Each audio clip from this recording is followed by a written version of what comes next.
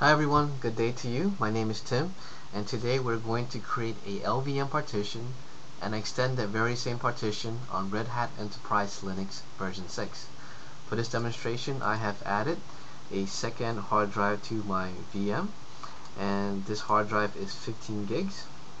In addition, I have created this simple diagram. Uh, I'll be the first to admit that LVM can be very uh, confusing in the beginning. It was definitely very confusing to me. That is, is because LVM has many many layers but like almost anything else the more practice that you have the better you're gonna be alright so let's begin the first thing that we want to do is go and access the hard drive that has been uh, the new the second hard drive that was installed so it's fdisk dev sdb now S SDA represents my first primary hard drive which has my operating system on it. So we're going to access SDB we type P and we'll see right here that the hard drive is around 16 gigs in size and it has 1958 cylinders. So what we want to do first is create the extended partition. And to do and to do that we type in N for new then E for extended. We want to give it partition number one. And hit enter to use the first available cylinder and hit enter to use the last available cylinder. So we're going to use the whole disk. Type P and we see that our extended partition is right here. Next thing that we want to do is create these three logical partitions. And to do that we type in N for new again type L for logical and hit enter to use the first available cylinder. And right here I'm going to put in plus 652 so why 652 well if you take 1958 and divide it by 3 you get a number around 652 I'm trying to create three logical partitions of the same size.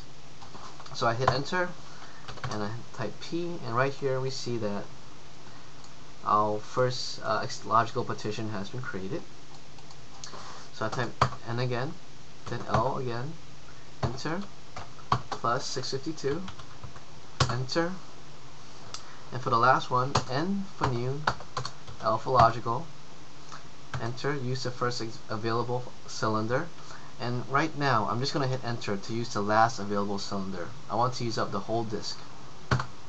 Type P, and we have just created three logical partitions. Okay, very good. So we need to change these partitions from Linux to Linux LVM. To do that, you type T. It's asking you which partition number do you want to work on. Well, it's not partition number 1 because that is our extended partition. Instead, we're going to work on partition 5, 6, and 7. So let me type 5 and I'm going to type L to list the partition codes. And right here are all the crazy partition codes. We're looking at this one 8E Linux LVM so we type in 8E type T. And partition 5 is now a Linux LVM partition. So let's do the same for partition 6 and 7 type T 6 8E enter T7 8E enter I'll type P again and our three new logical partitions are now Linux LVM partitions. Excellent. So let's type in W to write the changes and we have just exited from fdisk. So let's go back to our diagram. We've done this part, we've created the logical partitions. Now we want to create the LVM physical volumes. And to do that, we type, well, let's do this first. fdisk dash L dev SDB. So I'm going to use these guys, these three, to create the uh, the LVM physical volumes. So I'll type pv create dev SDB5, dev SDB6, and dev SDB7. Hit enter. 5, 6, and 7 successfully created. Alright, very good. And next, we want to create the LVM volume group. Now, I'm only going to use the first two physical volumes because I need the third one to demonstrate how to extend a LVM volume.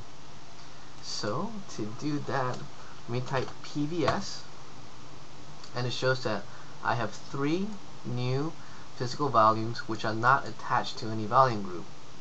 So what I'm going to do is type in vg create and I'll give the volume group a name and I'll give it give it the name vg1 and I say I'll say that dev sdb5 and dev sdb6 are part of this volume group. I hit enter and volume group vg1 has been successfully created if I type in vgs it says that volume group of vg1 has the size of 10 gigs so we're doing good. So now we want to create the LVM logical volume. So for a logical volume you can create multiple logical volumes on a single volume group. So let's say I split this in half. I can have two logical volumes on a single volume group but for now I'm just going to create one logical volume on this volume group. To do that you type lv create dash l. I'm going to type in 100% free vg1 dash n lvs okay so this command is saying use 100% of the free space on volume group on volume group 1 or vg1 and give it the name I'm sorry lv1 little typo there me hit enter and logical volume LV1 has been created. I type LVS and our logical volume has, is, um, is a 10 gig volume. Okay. So next thing we, want to do is create the extended4 file system on the newly created logical volume. And to do this, we will type mkfs dot extended4 dev VG1, LV1. And we have just created an extended4 file system. Very good. Okay, so let's now mount this. I'm going to create a folder called, uh, a directory called data. And I'm going to mount a new logical volume, or a new file system to data. To do that, I have to edit the fstab file. So it's we're saying dev vg1 lv1 data extended 4 I'm going to use the default settings 0 0 right quit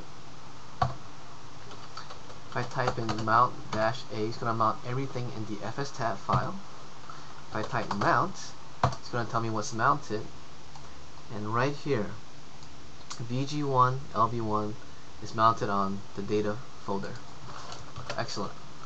So if I type in DH I'm sorry df-h data we see that our newly created volume is 9.9 gigs in size. Well let's run it up to 10 gigs. Okay we're doing good. So now that we're here let's let us extend our new volume group. So we have uh, well I'm gonna take the third LVM physical volume and make it a part of the LVM volume group. So let's do that let me type in PVS and I see that SDB7 is not associated with any volume groups. So if I type in VG extend VG1 dev sdb7 is going to add that okay it added that partition oh, I'm so, uh, added that I'm sorry added the physical volume to the volume group VG1 if I type VGS VG1 is now 14.99 gigs in size. Okay. Now we need to extend the logical volume.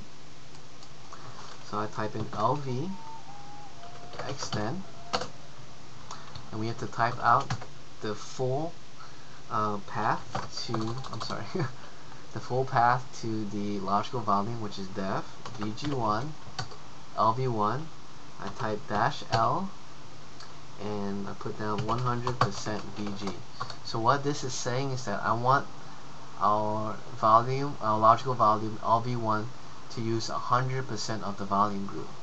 I type in enter and our logical volume has been extended to 15 well 14.99 gigs. So let's round it off to 15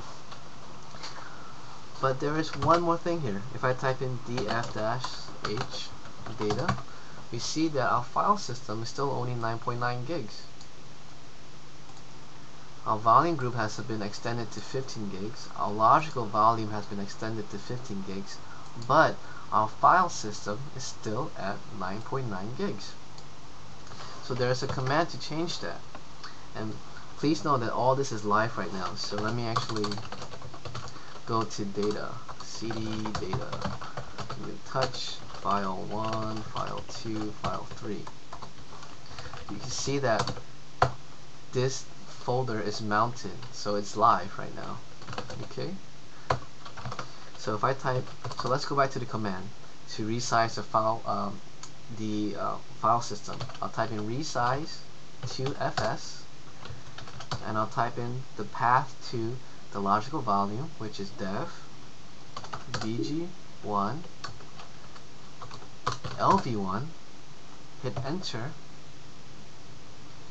and the modification has started and it really doesn't take so long. Should be done it's done right now. Okay we're finished. So if I now now if oh, I'm sorry.